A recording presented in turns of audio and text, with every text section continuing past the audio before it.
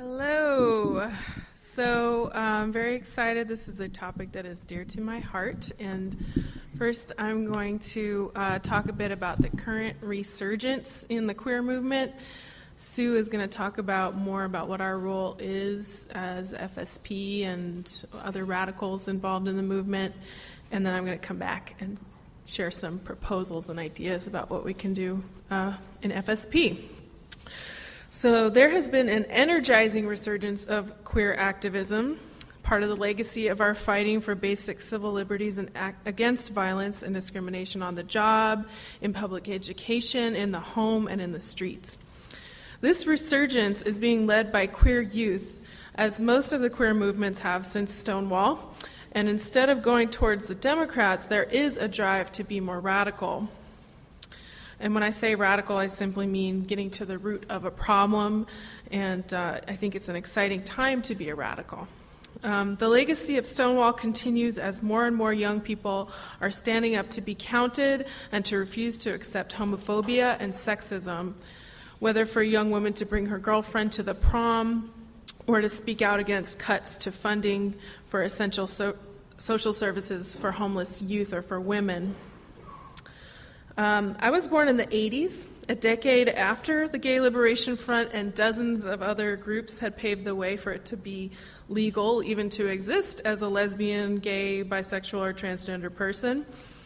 I joined Radical Women when I was 16, just out of high school, and already a feisty anti capitalist, feminist, and active in my gay straight alliance.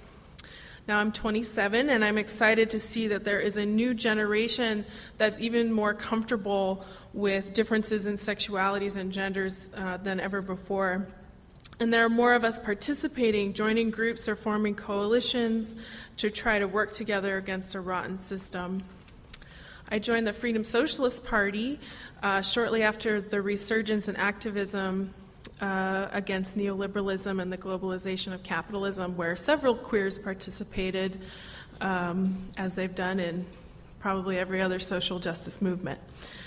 Today, the strategies of the queer movement are similar direct action tactics and mass mobilization for basic civil rights, including job protection and same gender marriage.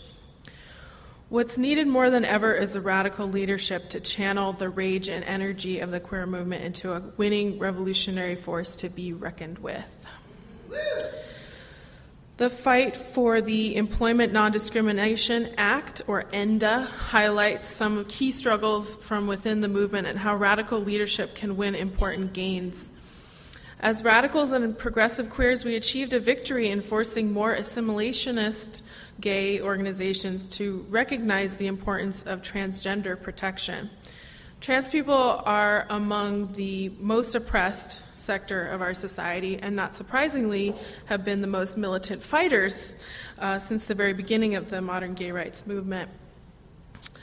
Community groups, leftists, feminists, trans, and queer rights activists, along with the Freedom Socialist Party all over the country, staged direct actions and public shaming of sellout groups like the Human Rights Commission, or HRC, who uh, sold out trans people by accepting a version of ENDA um, without protection for g- gender discrimination, so just for sexuality. The current draft of the Act includes coverage for trans people. But we need to continue to keep the fight up and need to pressure Congress to pass it already. Now, um, I've talked to, I feel, a lot of queer people who have a lot of doubt about getting anything out of Congress or Nancy Pelosi, and I understand that. We all do, I think, here.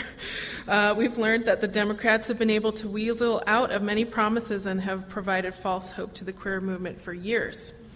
The Democratic Party is a liberal capitalist party that has proven time and time again to portray the working class for uh, bourgeois interests. And uh, wanted to say that the Democratic Representative Barney Frank has even made some noise in the direction of changing ENDA back to leave out trans protections if the current version doesn't pass. And you know, even if ENDA did pass, which would be a crazy historic thing because the Equal Rights Amendment never did, um, we will never have equal employment rights under capitalism. for example, there's still the wage disparity between men and women and people of different races. So the bosses obviously want to keep us divided and conquered, and um, those political parties are funded by the bosses. So all of us working people have a common enemy, which is the capitalist system. Um, Obama, who is uh, not much of a friend to queers, just as much as he's not to public education, the, to that fight, or to labor, uh, he has condemned Don't Ask, Don't Tell. Uh, while talking out the other side of his mouth, saying it's it basically needs to be upheld um, before you know, so that we can you know, do a survey of the Army. And recently, the Pentagon spent $4 million on such a survey um, to see what the troops would think about repealing Don't Ask, Don't Tell. We already know that they would support the repeal of it. The explosion of activism after the pass of Proposition 8, which um, defined marriage as between a man and a woman, uh, after it was passed in California, has had uh, has spread all over the country and reverberated around the world. Um, it really has kicked off this new wave of queer activism. On Valentine's Day, a group called Queer Rising had a protest and chained themselves to the Manhattan Marriage License Bureau. And um, they were, their charges were dropped after they packed the courtroom and had support. So I think that there are more examples in countries like Spain, Canada, Mexico City, all these places already have same sex marriage in place. And um, exciting that in Costa Rica, the PRT, Partido Revolucionario de los Trabajadores, um, is uh, basically supporting same gender, same sex marriage um, and connecting the issue to workers' rights and encouraging you know them along with labor unions to fight for same-sex civil unions. Um, and then you know many more examples like in Russia, they're fighting against the government and fascist goons to just be able to have pride celebrations. The LGBTQ movement often is the most multi issue, making demands like queers for open borders and reproductive justice now. There are several gay groups calling for immigrant rights, opposing the ICE raids that tear apart families, or legislation like SB 1070. As queers, often we feel the effects of national scapegoating or even scapegoating from within our own families, so it's in our own interest to stand up to discrimination uh, in all its forms, besides the fact that there are many queer immigrants and probably half of them are women. In San Francisco, there's a coalition of different groups that have taken a stand against the hotel bosses by helping wage a boycott. Don't get caught in a bad hotel, as sung to the tune of Lady Gaga's "Bad Romance," is a excellent viral video. You should check it out on YouTube. It's one of the many creative ways that we could participate and protest. Queer radicals also take the lead in standing up to the anti abortionists who come to San Francisco every year. The Catholic Church mobilizes thousands to march in a walk for life in the darkest city of gay old San Francisco. And basically, I mean, their leadership is made up of the same people as the Minutemen and the Nazis and um, religious rights. So uh, every time they come to town, the Bay Area Coalition for Our Reproductive Rights, which we are very active in, I myself have been active in for a while, uh, has been able to mobilize a counter presence to show alternatives to their women hating and homophobia. We've had the Sisters of Perpetual Indulgence, pro choice families, the Raging Grannies, and many left feminist, socialist, labor groups participate over the years. And in 2010, uh, uh, Radical Women, FSP, along with all these different people, helped organize a counter protest to the right wing. And one of the highlights of the day for me was the queer kissin to show that our love is not wrong and hopefully to uh, keep the antis from wanting to come back. Um, the anti abortionists are the same people who oppose queer marriage and LGBTIQ equality. Women, along with transgenders, are fighting for autonomy over their own bodies Um, so that's another way to make the connection. And along with labor, the immigrant rights movements, if we all work together, we would be unstoppable. Like every movement that we're involved in, the uh, queer movement is suffering from a lack of direction. And uh, I will repeat what Anita said it boils down to a question of leadership, a big theme in our political resolution that we've been discussing this weekend. And examples of how um, this lack of leadership is showing itself.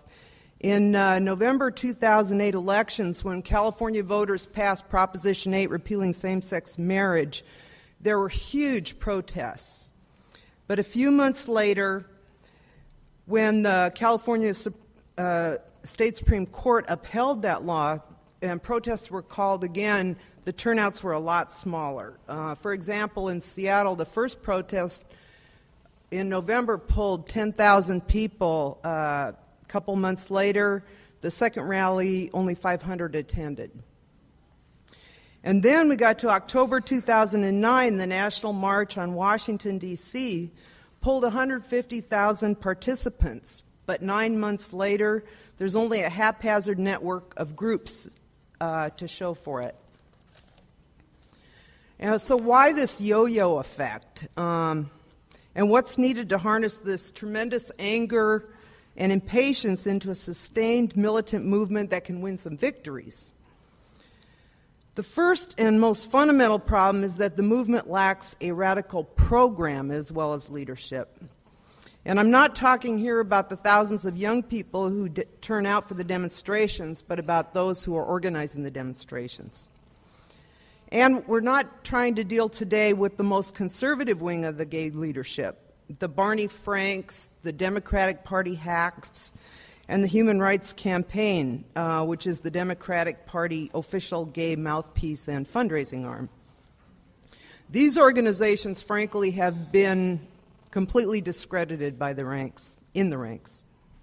Today, we want to examine the new organizations that have sprung up who are calling protests and denouncing the go slow strategy of the Human Rights Campaign. And there's three main national networks that have emerged uh, along these lines.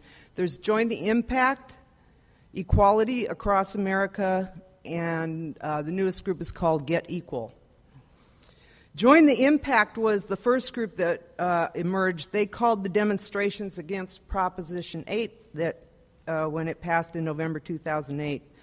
Like I said, there were huge militant crowds that turned out. And what struck me in, Seattle, in the Seattle protests was the really broad spectrum of ages, um, but the majority were young, and a good third of that crowd was straight. And although the issue was marriage, um, the, what people were really focused on was not so much uh, marriage, but overall equality. They had all just finished voting for Obama and were full of hope. Um, but they didn't read the fine print. Obama had actually said he did not support gay marriage during his campaign. Join the Impact was started by two people with high tech backgrounds in the corporate world. Uh, through Facebook and emails, the word spread like wildfire. When the rallies were called, all these militant people showed up, but all the speakers were Democratic Party politicians. In San Francisco, follow up community meetings were called, and, uh, and then they were abruptly canceled. So that energy never coalesced. And now Join the Impact has faded from the scene. The middle caste, the layer in between the ranks, and the uh, cap, I'm sorry, the middle caste, which is that layer in between that we were talking about earlier in the convention, was terrified of a movement they couldn't control. Next came the National March on Washington. This was organized by Equality Across America, which was a temporary alliance of odd bedfellows that split apart after the march was over. It was called by David Mixner, who is a former Clinton cabinet member. And uh, other key organizers were Cleve Jones, who worked with uh, Harvey Milk and did the AIDS quilt, progressive Democrats, a bunch of techies, and uh, the International Socialist Organization all jumped in there after it got started. The platform is full LGBT equality in all 50 states, period. Um, the money for this march came from David Mixner and Lady Gaga. But after the march, this alliance splintered, and the two paid organizers left the group to form a new gay internet action group called Get Equal, where they're getting paid $75,000 a year by a gay man who owns Progressive Insurance Company. So you begin to get the idea. When I was referring earlier in a discussion to follow the money, this is what I'm talking about. Um, but the young people who came to the March on Washington didn't know all this, what was going on behind the scenes. They also often don't know, in some ways, that the organizing for this march was a step backward from previous gay marches on Washington in political program and in democratic structure. And that's part of why the history's got to be passed on. Uh, the Freedom Socialist Party was very involved in organizing the first three national marches on Washington. The first one in 1979 was led by queer radicals of color, and our comrades uh, were, um, were key among the leaders in it, uh, including Yolanda and Doug, who are here today. Uh, they had democratically run organizing committees in each region, which elected delegates to a national steering committee. These delegates adopted a set of demands which included, in addition to gay and lesbian freedom, calls for an end to racism, for reproductive freedom, and solidarity with labor. The marches were paid for by local fundraising efforts, and there was no corporate or foundation funding. Similar processes took place uh, for the marches that followed in 1987 and 1993. Again, FSP, uh, Freedom Socialist Party and Radical Women were very involved, and um, Comrade Merle Woo was a speaker at the 87 march, and Chris, who's here, was very involved as well. Uh, FSP has continued ever since to try to bring radical and multi issue voice to the queer movement and to warn our community not to rely on the Democrats and to mobilize against all kind of bigots and Nazis. Even in the last few years, as the annual Pride marches turned into corporate parades, we managed to organize very successful contingents with themes such as We Take No Pride in War, Unite for Queer and Immigrant Rights, and The Fruits of Labor. Um, Anita and I both feel that part of our job is not to just bring our socialist ideas to the queer movement, but also to educate the new queer activists about the radical history of the gay movement itself. And um, this is where, if you haven't, um, these are some things to read. The socialist feminism in the first decade talks about a lot of our activism during the 70s and covers those first marches. Gay resistance, the hidden history. Uh, I wrote this little thing on the front lines of lavender labor history, the FSP in action. And this was published last year Smash the Church, Smash the State. Merle Woo did the final essay in this anthology, which is really fabulous. And we had a great study group on it. Um, and in that light, I wanted to really thank our gay elders, Merle Woo and Tamara Turner, who couldn't make it to the convention, um, for making the FSP really proud in the gay movement. Uh, back to today and what the leadership of the left is and should be providing. The queer movement is an arena where we're trying to work with other left groups and at the same time debating with them. At this point, our main left collaborator and main ideological opponent is the International Socialist Organization, or ISO. Our differences are over feminism, whether autonomous movements of the oppressed will help or hurt the broader working class movement, and the nature of the vanguard party. And feminism is really key to our impact on the movement. Um, it's the essence of what drives young people of all sexualities to participate in the queer movement, and it's what distinguishes us from the rest of the left. Everybody may not use the word feminism, they may call it gender justice, but it's still the ideological essence of why people are getting involved. And you can see it everywhere. Um, the Gay Straight Alliances, in Jordana's article in the Freedom Socialist, there's over, she says there's over 4,000 across the country. There's a lot of young lesbians and gays and a gazillion of their straight girlfriends that are involved in these GSAs, um, and a few brave straight guys too. Um, but um, it's, it's because, aside from radical women, there isn't much of a feminist movement out there to get involved in. So that's where people go to fight sexism uh, today. Um, now, the ISO uh, it doesn't seem to realize that that's a big part of why these young people are drawn to this movement. Um, they characterize the feminist movement as bourgeois, and I believe they think the same thing about the gay movement, but they don't say it outright. In the ISO's uh, main gay figurehead, Sherry Wolf, says in her book, new book, um, she slams identity politics and separatism and ins- implies that that's, that is what autonomous uh, gay organizing is. Um, I got to skip some of this. Let's see. Um, now, I think the ISO is opportunist in general in their work, but this analysis they have of the gay movement, I think, helps explain how they operate in the queer movement. Uh, they've gotten heavily involved in the last year and a half because there's a large number of young people. They saw their, um, they saw a lot of numbers, and so after, frankly, decades of ignoring the gay movement, they got very involved. Um, they look for young radical queers to recruit to their organization but they do not try to move the queer organizations to the left. They pull young radicals aside and um, talk to them about revolution, and then won't even support a multi issue platform inside the gay coalitions. In contrast, FSP recruits the best gay leaders to help build not only the Vanguard Party, but to build a revolutionary wing within the queer movement. Um, and we've seen this way that ISO operates in a lot of our branches in Portland, San Francisco, and our comrades in the Chicago Gay Liberation Network have had the same experience. In the last year and a half in Seattle, we've been in a coalition uh, with the ISO, a couple different coalitions with the ISO. Uh, Ann Slater, C. Fisher, Tamara Turner, and myself at various points have been in um, working with them in those coalitions and debating with them and talking to the ISO members.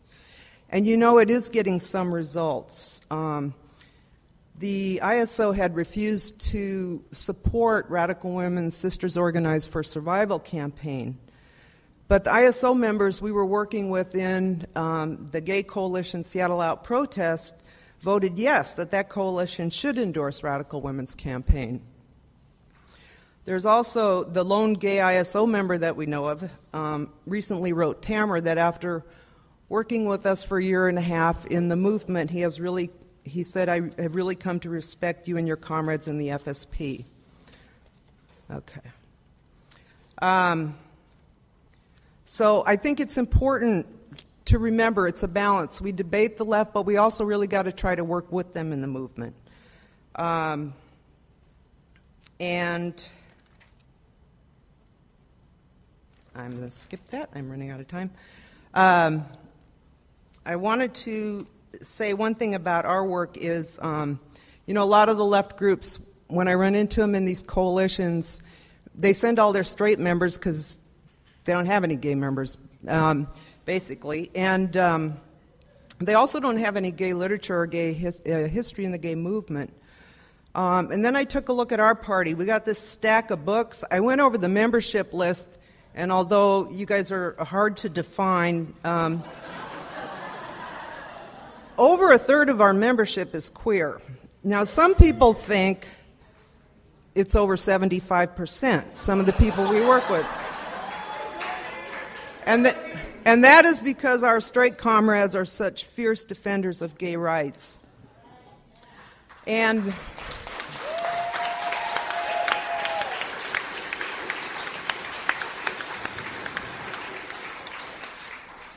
And uh, Anita and I want to let you know that we, we know we, the straight members have our back um, and they have the passion and involvement that we do. Um, I especially on this point want to thank Guerry. and I'm going to out her, she's straight. um, is uh, for really um, for her advice and leadership to the Gay Fraction all these years, but also being, she's the international secretary now, and she's been very attuned to the fact um, she's seen that uh, it's through working with women and queers in the left in other countries that a lot of international recruitment poten- potential for us. Here are some of our proposals, concrete recommendations. Um, go to a coalition meeting in your town and see what they're doing. Queer Rights Coalition. Who are the major players in the group? Um, I think that coalition meetings are a great way to meet people and could be an effective way to have an impact, even if just one of your branch members can go. If there's no such type of coalition meeting, then consider starting one in your own town consider if this is the right time to, to initiate a new grouping or not. Invite other groups to speak at meetings or events. Um, in Radical Woman, we re- recently had a very successful panel on Queer Radical Strategies for Our Movement, and we invited a member of um, Equality New Mexico and Havoc, which is a the queer youth um, wing of Pride at Work. And I think we need to grapple with how do we build a bridge between the people that we know socially and the people we know politically. How do we bring our political selves to the social scene? And for me, I I'm strugg- you know, I struggle with this as a party DJ. Um, you know, I get a lot of recognition for organizing community benefits or playing music at, at queer dance parties, but it's harder for me to get recognition as an activist going out and organizing protests and writing and stuff like that. So um, I think that it's important to ask someone from the party scene to speak at an event. That's what we did. You know, a lot of the people who come to my dance parties are activists. So. Um, ask someone out for coffee or tea and engage in political discussion with them, not just gossip. And uh, always make sure to bring event flyers to parties and cultural events. Um, make sure to utilize every outreach opportunity from softball games to drag shows. Radicals need to go where the people are. For example, in some towns in the U.S., um, the working class, the place to find the working class people is at the bar that's where they hang out, and that's where you need to go to talk to folks. Don't be afraid to put yourself out there, and if there's someone you know, who just isn't interested in politics, don't get cynical about the entire community. Don't believe the hype about the gays. Um, you know, not all, all of us are bourgeois assimilationist types like the HRC, Human Rights Commission. And contrary to popular belief, most queers have pretty low incomes and don't own gorgeous homes like on the L word. So, um, you know, I always bring flyers with me to every club that I go to. Um, talk to people and ask them what they think about events in gay newspapers that they read. And, you know, recognize that some people might never come to a meeting, but if the Nazis come to town, they would probably come to a rally so we need to build a base of support with many different kinds of levels. Um, and I think that we need to orient to queer people of color and queer workers, especially the youth. And wanted to second what Jed had raised yesterday during discussion about the myth of the post racist society that uh, for queer people of color, their lives are already multi issue, so it's a good chance that their politics would be too. And overall, lesbian, gay, bisexual, trans, and queer members of our organization and FSP should consider getting involved in the movement if you are not already. Do it. We have a unique history and position as socialist feminists, as Su explained. We are unflinchingly fighting for the leadership of the most oppressed. That includes the whole LGBTIQ spectrum. And along with our straight comrades, we need to help build bridges between different struggles, make democratic demands, and always, always emphasize the need for socialist society where all kinds of gender expressions and sexualities would be able to proliferate. Let's do it with all the glitter, fabulousness, and optimism we have as queer rebels. Thank you.